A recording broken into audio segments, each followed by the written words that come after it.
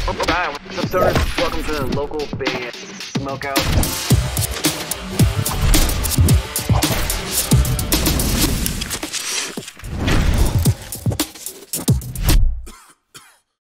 Ladies and gentlemen, right now, we are joined by Tristan of all the pretty things.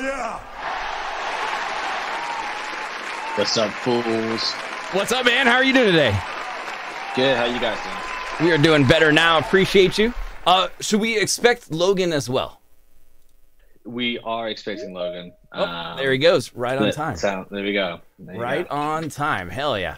Uh, while he gets his camera and mic set up, Tristan, if you could, for those that may not know you, sir, can you properly introduce yourself? Let me know whereabouts in the world you are right this moment, and uh, plug and promote anything and everything. Yeah. Well, uh, I'm Tristan. I play guitar in all the pretty things. Uh, I currently reside in San Antonio, Texas. The band is based out of Wilmington, North Carolina. Um, we're a bunch of old dudes who are making new music, and you can find us online at alltheprettythingsofficial.com. Uh, Logan is wearing a very lovely shirt, so that has distracted me. Uh, and uh, pretty much, yeah, all our social medias, all the pretty things official. Um, so just find us on there, follow us. Uh, we love to hear from everybody. So yeah, just uh, check it out if you want. Hell yeah. Uh, and then, Logan, your mic is muted. If you could unmute that for us. How are you, sir? How how about now? You're, you're golden. I'm good. How did you? How did yeah, you? Uh, you guys for having us. Oh, dude, it's the the pleasure's all ours. And I I got a, a chance last night to jam both songs and then kind of like deep dive your history uh, in music, Logan. I'm talking uh the I jammed uh Demona Waits and Mood Mechanics, especially though, like sucked me into my zone, man. It it reminded me of like Really? Harvard meets like Edison Glass. Are you No fa- shit. are you familiar hey, with thank- Edison thank Glass? You very much for doing it. Oh, Uh, yeah. I don't think so. Tristan, would you I am. agree with that? Uh, would you agree with that assessment though, uh, as far as what uh, his old stuff kind of sounds like? I mean, yeah, hundred percent. Uh, Edison Glass were uh, a great band, and um, a Mood Mechanics was also something that I heard before Logan even auditioned to be part of this band. So, So you already knew That is a who he was before the audition. um, kinda, yeah, through Worth suggesting that this would be somebody that we would have in the band. Um, and I was like, you know, send me some stuff to check out, and the stuff that he sent was the Mood Mechanic stuff. And then So- once I heard that, that was obviously like we have to have this guy. so let let's talk about the formation of the group. How did you guys reach out to to the other members? How did this essentially a super group get built? Ooh. I'm gonna let Okay. Well, sure. I'll take it. Uh, it started with me wanting to do a project. Um, I wanted to play the music that I wanted to play instead of being in somebody else's band. Um, and my paths crossed with Worth. Um, we started writing together at some point, and then once we kind of we had like four songs that we demoed out. Uh, we actually had our buddy uh, Jesse from He Is Legend play the drums on them, just so that we had something. Um, and then once we kind of started started getting the sound together, and we thought, oh wow, we we could really like do a band with this. This sounds like something we could do, but we need to find a vocalist. Like that's the next important thing. We can find a drummer, we can find a bass player if we want. It'll just take a lot longer to find the right guy. So we started searching for singers. Um, Logan was somebody that was actually brought to my attention pretty early on in the process, um, but he was being a little tease and kept us uh, kept us wanting more and wanting something song and send us a, an audition, if you will. Um, that was the moment where we were like, this is the guy for the, the band. There's no one else. So once that was in effect, um, that's when I brought Jeremy in. Um, him and I had been friends for a long time. We, you know, we talked all the time, and it was nice to just be like, "Hey, man, I need you to play drums in this band." And he's like, "Okay, cool." Just like that. So just like that.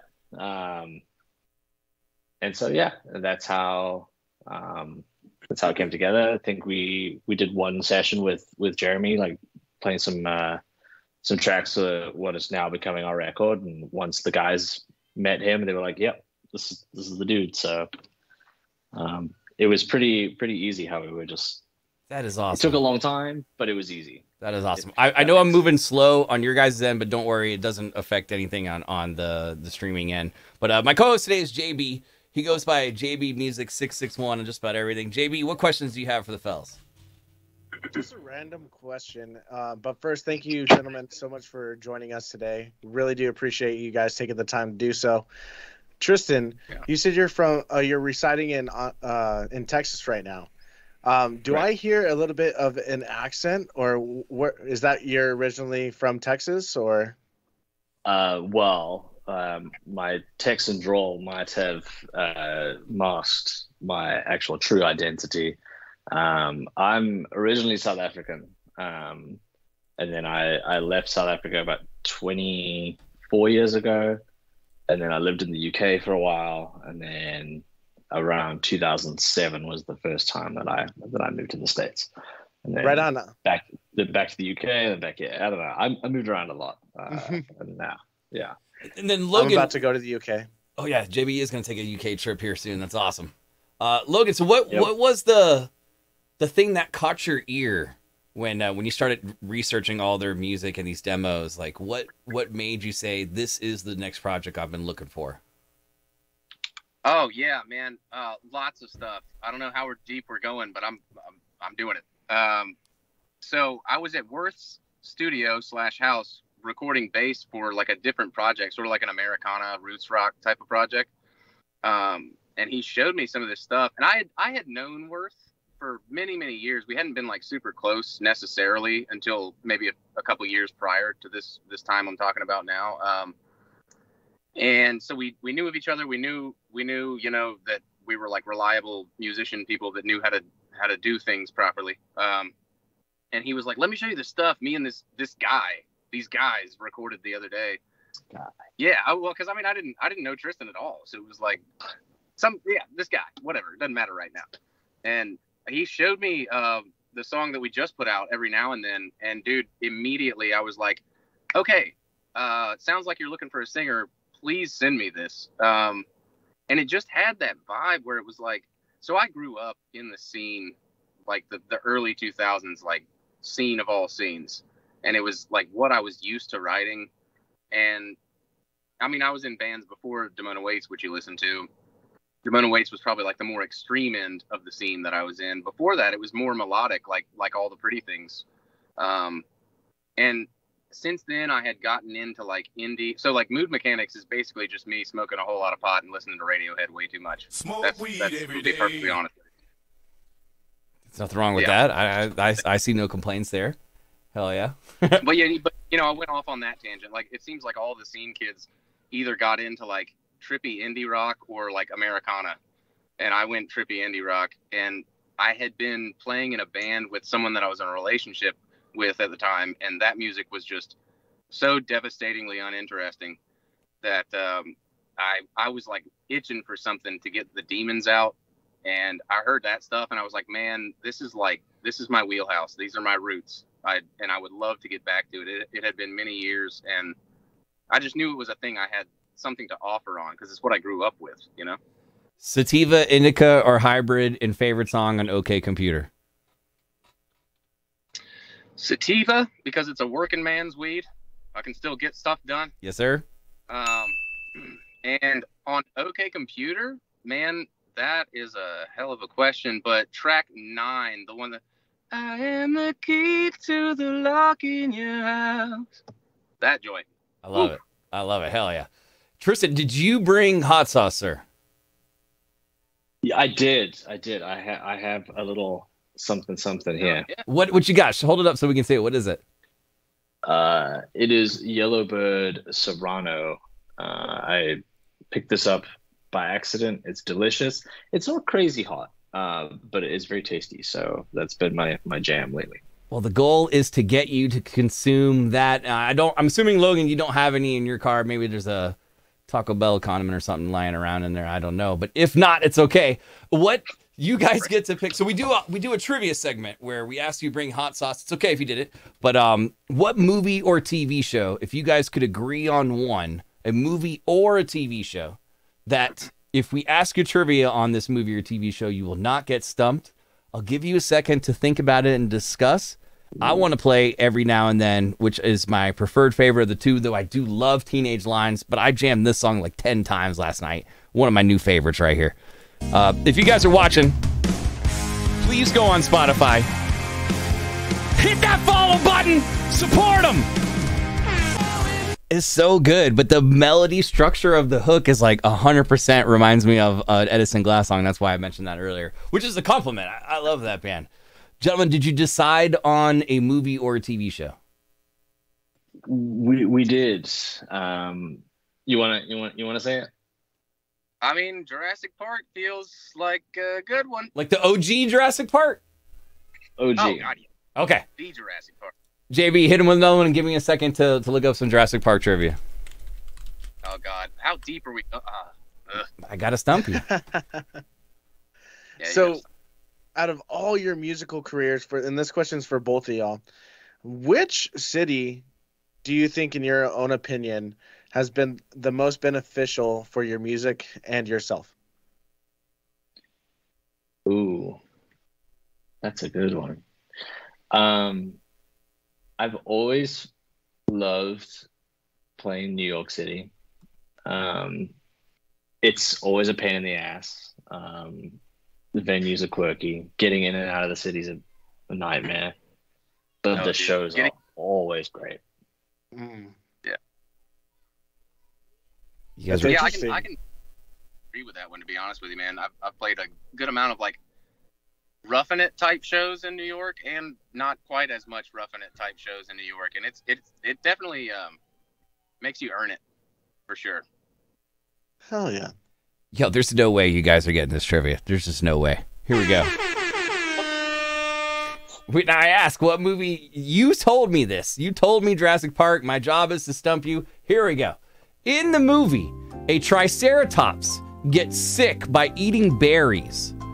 What kind of berries does Ellie say made the Triceratops sick? What'd you say? West Indian lilac. West Indian lilac. Holy sh! That is correct! I thought for sure. Damn it. All right, I'm going to consume some blueberry hot sauce because I was not able to stump you. Well done. Not even, it took him one second.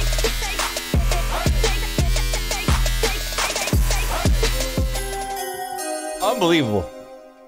I just did not. s- literally have West I like tattooed on my arm in in the middle of another Jurassic Park tattoo as a deep for the Jurassic Park reference.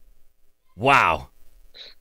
I'm gonna have to dig really deep for the second one, fellas. Have you have you ever considered um having like a, a another feature on on when you said you're working on the album? Is there any like uh feature considerations maybe? Like a, a big name or something to tag along to a song. I know maybe you can't discuss that, but has that been discussed?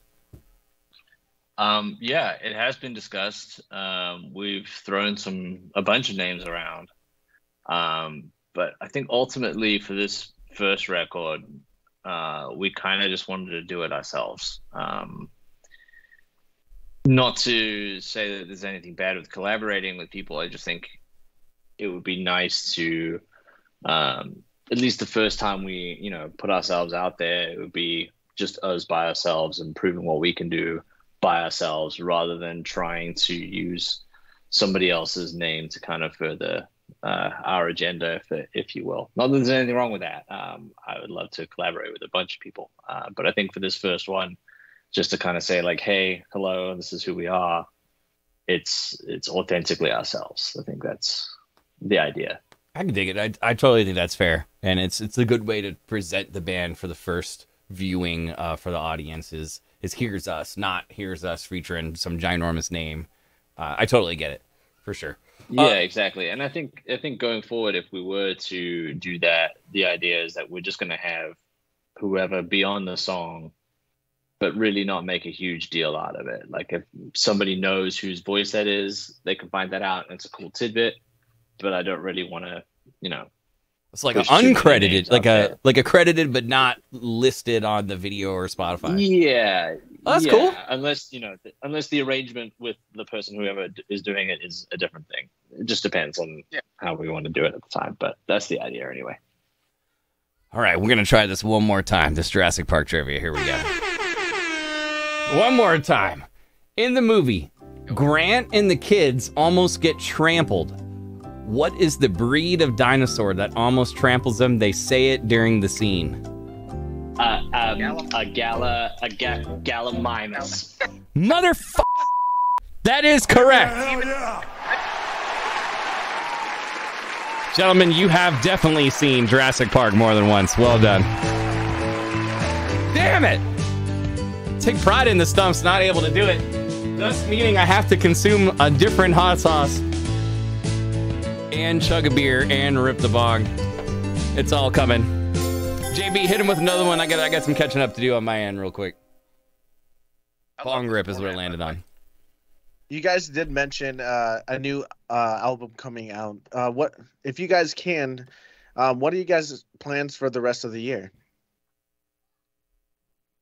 I think it's just um well we gotta we're so we're getting this thing mixed by Beau Burchell of uh of Saosin and Hell yeah.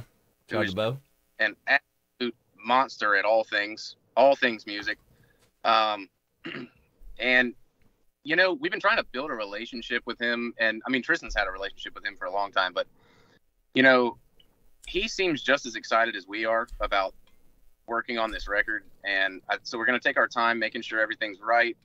Not that it'll take him long because he's a total badass, but um, we're gonna do that. We're gonna try and pitch it around the best we can, make as many connections as we can, and then, man, I think the goal is to start uh, hitting up festivals and um, playing shows, doing live streams. You know, kind of, kind of taking this thing that we were able to create in the studio and then showing, showing the world that we we can do this like in, a, in an actual live setting. You know, there's a lot of. Uh, Man, there's a lot of insanely talented bands, and and this this scene in particular is kind of having like a massive reawakening it seems like over the past few years. And um i mean the, and and all the dudes that were that were involved back when i was growing up and looking up to them are still on top of their game. And so it's not something we're taking lightly. It's just we, we've got to get out there and like show them that we can we can also be a part of this you know? Um and that's that's really the goal is just do whatever we have to do to build the brand and um, prove ourselves as a, a, a live artist as well as a studio artist Fellas, we got time for a couple more. Um, I, I do have a kind of a serious one. Being that you are, you've been in the industry for a bit as far as multiple projects and and playing shows and that kind of thing, and now you have this new project. A, how would you recommend uh, a smaller artist who wants to dive into a side project go about it? And also, can you tell us a an early on local band mistake you made that you don't want any other local bands to make? Tristan, you want to take the first part of that or the second part of that? I'll take the second part of that. of course you will. Yes. Okay, so the first part was um, what what should they do if they want to start a side project, like how to go about it. Yeah, because I feel like I feel like when you present that idea to your normal band, sometimes it can scare the members, and they're like, "Oh, he's gonna put all his time in this new project." Like, how do you how do you keep that current project but still get the approval? I guess you'd say, if that makes sense. Oh well, yeah. I mean, I get that, and I get that there are politics within bands and that sort of thing. But you know, you kind of got to just do what's right for you. If if you're still committed to the original band in the first place, then yeah, go for it. And I- think you just have to be prepared to like know your limits creatively, and or be willing to very much push those limits creatively because you're going to have a lot of material to come up with and neither band is going to be happy if you're giving all your creative energy to one or the other and i mean there has to be a clear idea and a clear brand for each band a so that you don't step on each other's toes. B you you have to be confident in yourself enough as whether whether you're a songwriter or just you know featuring drums on the side project or whatever you you have to be confident enough and uh, well rehearsed enough to actually be able to keep up with it all. But i think the most important part with that is is honestly anybody who's actually passionate enough will find the time to rehearse the time to write the time to perform the time to record um, you just have to keep pushing man you got to make your life all about it like we I feel like we've put our we put all the eggs in the basket here, man. Like we're like I'm ready to I'm ready to roll on this thing. It's like I, I, I would bet anything on it. And and you you also at the same time have to be prepared to not have it do what you want it to do i guess you know like not not prepared like acquiescing to failure but more so like am i going to be okay if this doesn't work out you know but in the meantime, treat it as if there's no other option but to succeed. I like that. Good advice. And then Tristan, uh, part two. Yeah, part two. Um, so remind me again what it was. I had it in my head. Uh, like a like a mistake, like a mistake you may have made uh, in your Oh, in your first band that you don't want somebody to make. Yeah. Um, this one band I did, I was super excited to put the, the, the product out there and I just put it out. I didn't think about uh, a release strategy or any of that kind of stuff. So in the end, I I think we sold maybe one copy of of the EP. Just one? Um, Just one, one whole copy Yes. one whole copy. Um, so One's better than none. Yeah. Well, it's better than none, but you know, 100%. it would have been nice to sell a couple more, or you know, even have people listen to it streaming wise. Um, it didn't go out on any of the streaming services. I think it was. It's still just on Bandcamp, and that, that's the only thing it's on. Um, and so yeah, I just put it out there and made a huge boo boo, and like all the songs got wasted, and the band was just so like deflated about the whole situation. It was uh, yeah, it wasn't great. Um, so don't do that. Uh, have have some sort of um, plan or strategy to follow um, to ensure that most a lot of people can listen to your stuff. Um, don't just put it out there unless you're Beyonce, in which case do whatever you want. Is there is there a potential release date? I know you can't say, but like, can we expect the album by the end of the year, or are we thinking like early I next would, year? I would love to think so. Um, we actually haven't even got as far as talking about a release date yet. Obviously, we're excited to put it out. Um, we're just trying to see what this is going to sound like as a full product first before we decide uh, whether it's going to be a full length or maybe we cut it down to an EP and have a bunch of EPs come out first. We haven't fully realized that. We're leaning towards a record. Um, so that's likely the plan. Um, and hopefully out by the end of the year. It Just depends on um, a few factors that we are not haven't discussed yet. So Gotcha. J- JB, uh, send them out on a high note with the final question. And say if the world was like, you know what, no more music for you right now, and you have to leave this world, whatever, if it's death, whatever it may be. What is one message you want to leave this world when it comes to mu- your music? Okay, so the scenario is we're speaking from what we want our music to tell people, but we never get to play music again. Exactly. It's a deep one. Ooh, but that's a fantastic question. that is a Um, fantastic question. I'm kind of stumped with that one. For me, it's um, know yourself, know the people around you, know your worth, know their worth, and um, treat everyone accordingly. I love it. I love it too. yeah, it's I'm fair gonna enough. be lame. I ha- I have nothing.